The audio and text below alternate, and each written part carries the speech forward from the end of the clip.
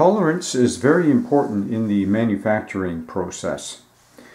So items made in uh, the manufacturing industry are made to a set of guideline measurements. Now for example, uh, there's a lot of measurements for various parts, but let's look at roller blade bearings.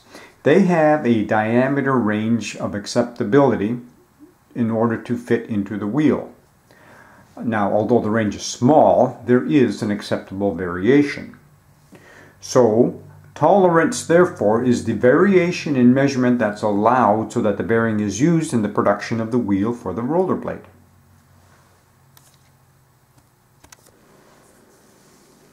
Okay, let's look at how tolerance relates to nominal value. Okay, well let's look at how nominal value relates to tolerance. Okay, so let's look at how uh, you can express the nominal value of tolerance.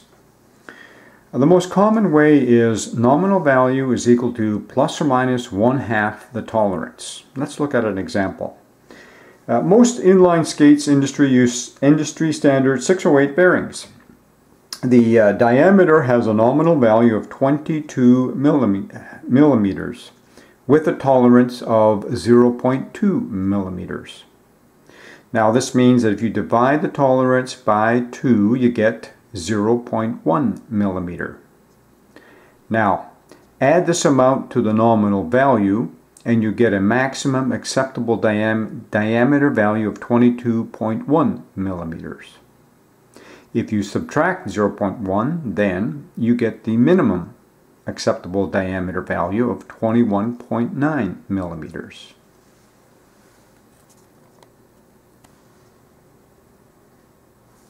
Okay, the nominal value uh, is defined as the uh, target diameter value for an item such as a bearing for a wheel.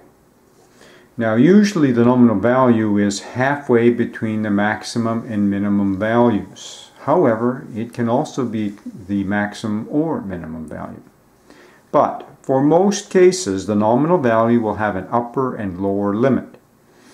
If the bearing diameter measures fall in this range, then it will be acceptable for use in production.